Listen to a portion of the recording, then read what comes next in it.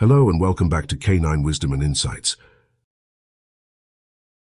In this episode, we embark on an educational journey to explore the diverse universe of dog breeds.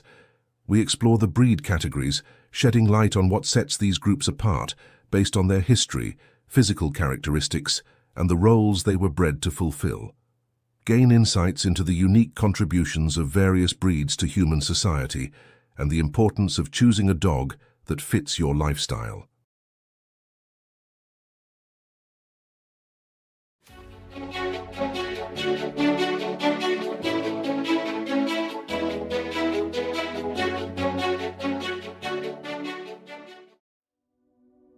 In this segment, we dive into understanding dog breed classifications. But first, let's answer a fundamental question. Why do these classifications even exist? These classifications have their roots in the diverse roles that dogs have played in human societies throughout history.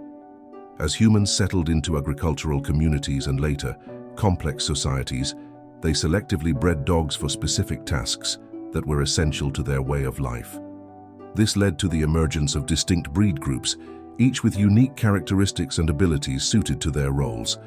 To herd livestock, dogs such as the Border Collie, Australian Shepherd, and Shetland Sheepdog were developed for their intelligence, agility, and the ability to work closely with human shepherds. Their keen sense of direction and ability to control the movement of other animals made them indispensable in pastoral settings. For hunting, various breeds were created to suit different types of game and hunting styles.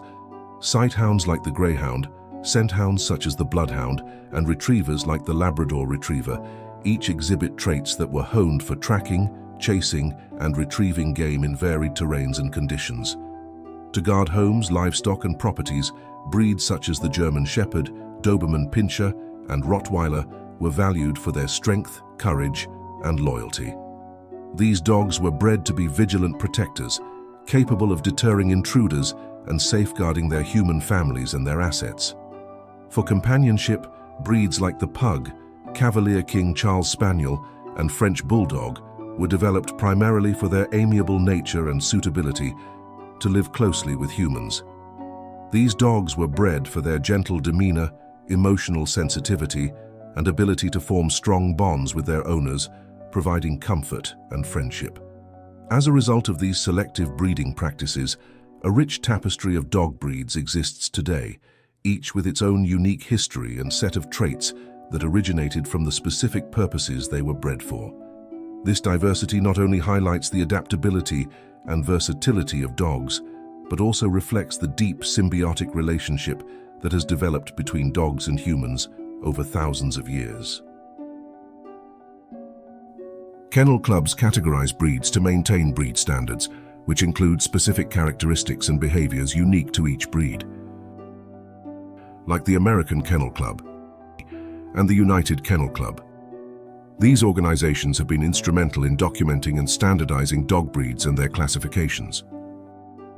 This not only helps in organizing dog shows, but also assists prospective dog owners in choosing the right breed for their lifestyle. Discover more about these clubs online for insights, advice and more. Now let's introduce the main categories of dog breeds recognized by these kennel clubs. Working dogs. These are the breeds that are bred to perform specific tasks, such as guarding property, pulling sleds, and performing water rescues. Examples include the Siberian Husky and St. Bernard. Sporting Group. These dogs were bred to assist hunters in the retrieval of game. Breeds such as the Labrador Retriever and the Golden Retriever are part of this group. Toy breeds. Toy breeds are small companion dogs known for their affectionate nature. Breeds like the Chihuahua and the Pomeranian fall into this category. Non-sporting group. A diverse group, non-sporting dogs vary greatly in size, personality and overall appearance. The Bulldog and the Dalmatian are prime examples. Herding group. Herding dogs are bred to control the movement of other animals. Think of the Border Collie and the Australian Shepherd. Hounds. This group includes breeds known for their hunting capabilities using sight or scent. The Beagle and the Greyhound are notable members. Terriers. Terriers are energetic, determined dogs bred to hunt vermin. The Airedale Terrier and the Scottish Terrier are part of this feisty group. And finally, the miscellaneous category, which includes breeds that are still in the process of gaining full recognition by some kennel clubs. Understanding these classifications is just the beginning. Each breed carries a rich history and a set of characteristics that make them uniquely suited to their traditional roles, whether that's companionship, protection, or work. On future episodes of Canine Wisdom and Insights, we'll uncover the chapters of their history, celebrating their legacy and the love we share for dogs. Stay with us as we dive into decoding dog behavior, essential dog care tips, basic training commands and more.